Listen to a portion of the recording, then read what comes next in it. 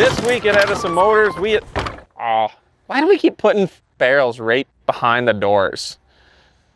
Gonna get the freaking forklift. Like we got, that door doesn't open. Just move them like four inches to the right.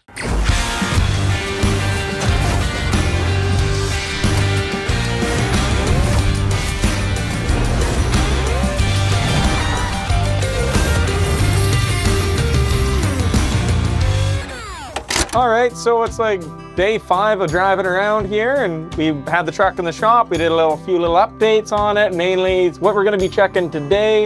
It's gonna be screens. I wanna see speedometer, wheel speed. We wanna see regen. We wanna see some confirmation of some things. And it's just a day of let's see what we can break. Yeah. The goal here is to break the truck and find a fault code. Yep. So far that's proven difficult because it's not breaking as much as Topsy was, which is good, but also We want to know. we want to know. Oh, now. We want to know now before we Yeah. send it to the customer because Yep. we only have a few days left and um, I think we're feeling pretty comfortable. If today goes well, the regen, the speed, everything's there, the CMVSS requirements are there. We'll send it off to the customer. So fingers crossed. Today we have some screens not working entirely as intended. This is just test for now. We're trying to report device temperatures and fault levels. The only one that's working for on this end is the BMS. The temperatures are okay, fault levels are flickering. It's just the way we're passing on data right now. Um, lots of debugging. I have it all in, on this system. It's on the controllers up there. We're gonna get it working. This screen's gonna be the primary screen. We are testing as we're hooking up ABS and all the other systems. We're gonna be testing vehicle speed. That's when we can start doing cruise control, regen, all that fun stuff. Basic displays for air pressure. Battery is not passing on. We're gonna be showing different gear selections that goes into CMVSS stuff where we have to display certain information, make sure it's always there. Just testing, getting a feeling for it. Not what the customer interface is going to be. That is going to be worked on by us and our designer as we flush things out. This is just for today, a little bit of testing. First glitch of the day, axles did not shift. Um, as we've been adding devices, we've been playing with our CAN bus. CAN buses require termination on either end, just proper resistance. We were missing that. Plugged in a resistor. All it takes, we're ready to go. Oh, and I also want to say that we do have seat belts in this. They are just lap belts, but for testing, we do have seat belts. A lot of time though, you just by the time you tuck them in, they're not seeing. So if you are watching this video about the comments, we do have seat belts on. They're just lap belts because that's all we're required to have for this. All right, ready? Yep. Clear.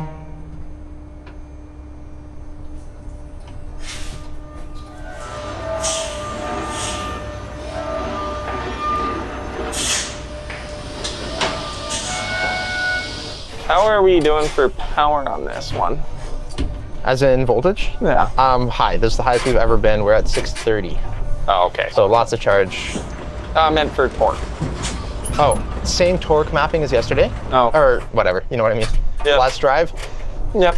Oh, I see the vehicle speed. Oh, All it, right. it, it, it showed 17 there for a second. Suspiciously quiet. Especially now that the fans and pump aren't so loud. I'm still hear the squeak. Yeah, it, there's a bit of torsion there. Something's twisting. Something's not happy. The fuck is that? We've taken the panels off. We've done like there should be nothing that's squeaking. It still feels like it's that same spot, like It's right the under same the floor. spot. Yeah. I should honestly just tell Damon to do a few passes in the log yard. It's just so rough in here. Yeah. Yes, it is our shake test. It is a shit. I love how we had to go through a shake test Yeah. before going onto the track. Rattle everything loose before doing the high speed testing. If you let off the throttle a bit, doesn't it just should coast like it did before? Yep. Okay, cool. Good. Oh my god. Why don't we just take this door panel right off? Like if it's in the door panel. Is it in the door? I don't might be. know.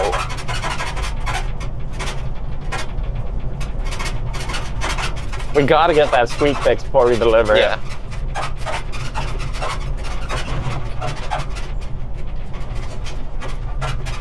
But I'm glad the panel and everything behind us isn't shaking like it was. That's good. Yeah. Everything else is it's just whatever squeak is happening here. Looks way smoother today. Oh yeah. Yeah. All right, I'm gonna have a look and see if we can stop and figure this thing out. Okay. Remember that cab squeak that we seen in the previous video? We thought we had fixed it. We thought it was a little contact with the fender and an occasional bump. Wasn't that, but we did finally find it. We came out, we drove it again. It was back. We took the side panels off. We checked it out again. It was a little bracket that we had to move and then retighten into a different position. We've driven it again. It's fixed it. Fingers crossed it doesn't come back. It's a little bit of a design change we're gonna have to make in the future, change up the bracketry a little bit. Um, these are the things you're learning while you're testing. I'm Yael, I'm our electrical design lead here at Edison, and I'm here to talk about harnessing. So on Topsy, we ran a bunch of our own wires, and that led to a bunch of bugs, like wires falling out or getting damaged. And then on our undisclosed truck, we built some test harnesses just to get it up and running. And even there, we noticed a bunch of bugs. And we decided we're going 100% of our harnesses made by a professional manufacturer. And let me show you the software solution we found to make that work well. I'm here to talk about Arcadia. It's our new cloud-based harnessing and electrical design software, and it's really expedited our design process.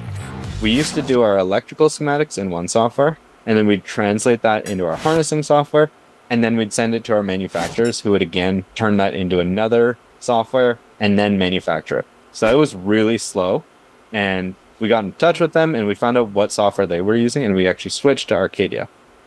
Now all of our engineers can work on the same project at the same time to get harnesses out the door really fast. And at the same time, our manufacturers can see what our BOM is and order those parts well in advance, which shortens lead times and expedites our manufacturing process. I'm going to show a little demo here. First, I just have to click show two locations on my harness and it's going to show where I need to connect. And then I just need to go like that. And it's already going to have all of our wire info. So just like that, we can connect all of our harnesses together and we don't have to re-transfer our data from one software to another wire by wire. I just pulled up this electrical schematic. This is our TCU to axles electrical schematic, and it has all of the information, which is super valuable because I just have to add it here. And then we just auto generate, and this schematic is automatically linked to our harness. So if I make a change here, it gets propagated through to our harness. And with that, we can make things like this, which is an example of our final output for our TCUs. We ordered this harness and now it's on the truck.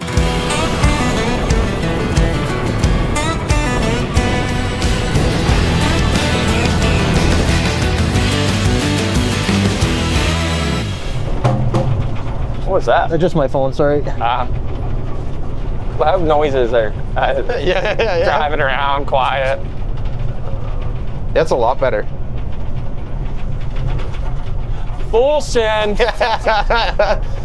uh, oh. She's soft in the cab, eh? yeah.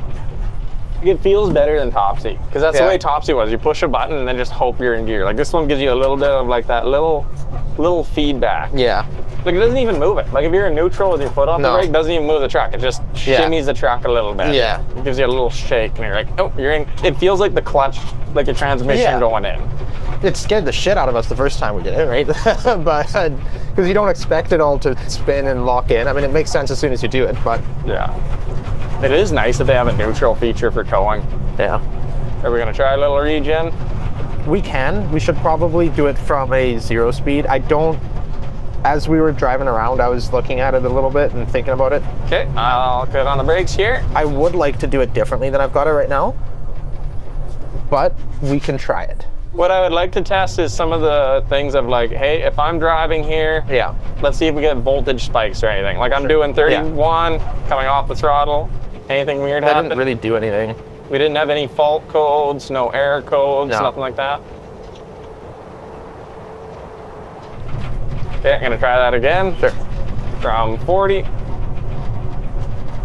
No error codes, nothing. The voltage, you see the voltage go down as we're drawing and then back up as we start to regen, but it's not. But we know it's working and we're not getting fault codes. Yeah. So, so that's that's a big win and we can work on that Yeah. programming while it's at the customer. Some of the tests we're gonna be doing right now is a brake burnishing test where I'm gonna be driving at 70 kilometers an hour. I'm gonna be making a hard brake application to bring it down to about 30 kilometers an hour. And then I'm gonna bring that speed back up and I'm just gonna repeat that every kilometer and a half or so. I'm also gonna be doing a braking test and a high speed test on it where I'm gonna be getting this truck up to speed on the straight stretch. I'm gonna do that as a couple of test runs. I'm gonna get it up to speed on the straight stretch. I'm gonna slam on the brakes, lock up those tires, see what happens with ABS and everything so we can monitor that system. So a lot of what we're gonna be doing today is brake testing now that we're on the track.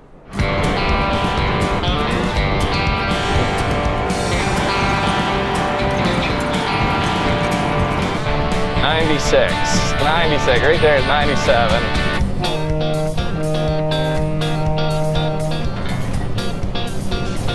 Here we go. Okay. Hopefully Zach's not in the way of the track. Don't come, I'm in the way.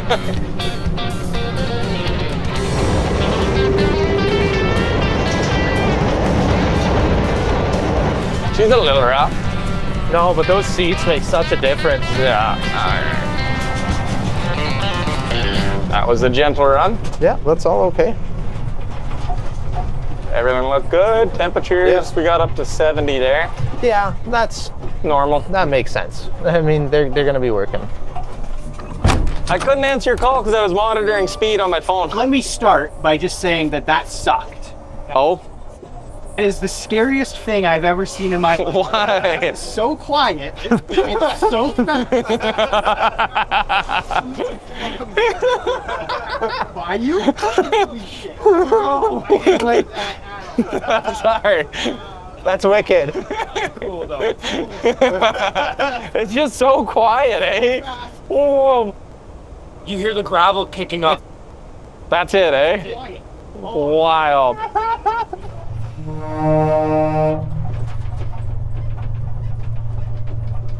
All looking good. Yep.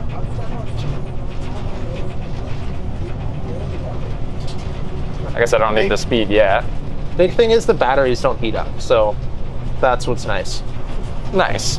These seats are so comfortable. They are.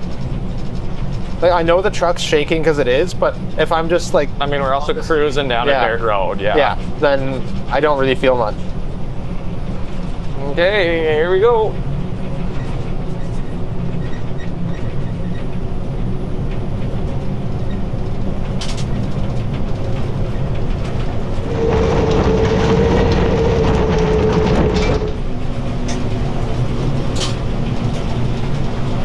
Okay, you ready? Yep. Here's a nice gradual one. There's 96.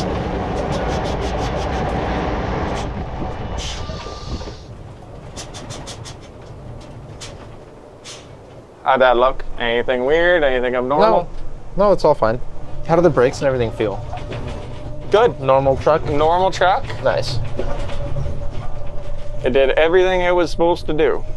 Are you? Do you find you're accelerating fast enough in that top range? Mm, no, no. I feel like I could have a little. It feels like it falls a little light. How is our thro- power doing? Uh, like battery? No, throttle. Like, what kind of Oh. percentage power? Can we increase our power? Yes. That's why I asked. Yeah, let's increase the power a little bit. I don't want to have to. Although it accelerated way more than a normal truck did. yeah. I feel like we could have more. Okay. We'll try that as a power steering again here. Sure. Little honk to let them know I'm doing a live run. And let me know what you think of the throttle. If you're like that didn't feel like it changed anything, then I can. Increase. Oh, that changed it. Yeah. Yeah. That changed it. So it is updated? Yeah. Okay. That's again. Do that live. I can do that. Yeah, no, I got more on the top end now. Okay. Do you want more? Yeah. Can we do more? I I don't know what the limit is. Like on you know I What have. happens if you over limit it? Well, I don't know. I, the, the, the TCUs will just stop at a certain point. Oh, okay. Honestly, that feels pretty good because like now we can. Oh yeah, Yeah. we rocking on it. Okay. Cool. All right, this is the big one. So you're watching Yep, everything. I'm ready. Recording.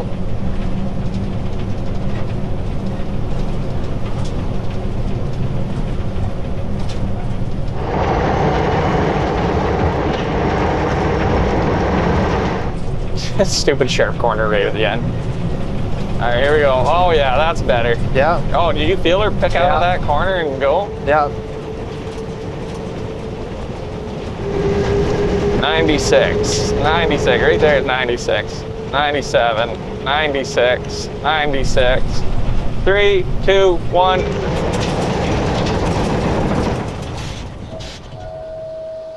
Oh, nice. How'd she look? Any faults? No, no, No faults? This is wicked. Awesome.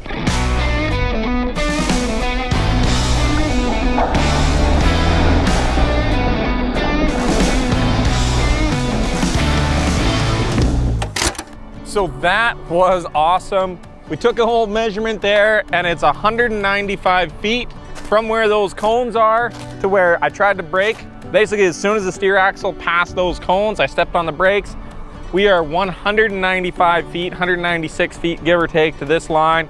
We need to stop within 720 feet. And if you look down here at the end of the pavement, the end of the pavement is 730 feet away. So as long as we get stopped on this pavement before it ends up and it hits the dirt section, that means that we pass. And as you can see, we're close. Now we do have to try this again. Once we get this off to the customer, it's gonna get its body, it's gonna get its rig up, it's gonna add weight, and we're gonna have to do the brake testing again. But honestly, I think if anything, weight is gonna help because looked at the, some of the footage there. The back end was chuttering, it was lifting a bit, a little bit more weight, it's gonna get more planted. We still had plenty of braking power. I'm happy with how this performed and I'm happy that brake lag, I watched the video, I stepped on the brakes and as soon as I did it, those brakes locked up and grabbed. Very little brake lag, very good stopping distance. I think this is a win. This is a great day of testing. We did all the laps. I did some brake burnishing. We did the regen braking test. I'm happy. I don't think there's any more tests that we can, there is more tests we can do, but I'm comfortable. We've done all of the tests. Now it's just a matter of doing them again and again and again, but you can tell I'm excited. I'm just, I'm really happy with how this truck is working and going.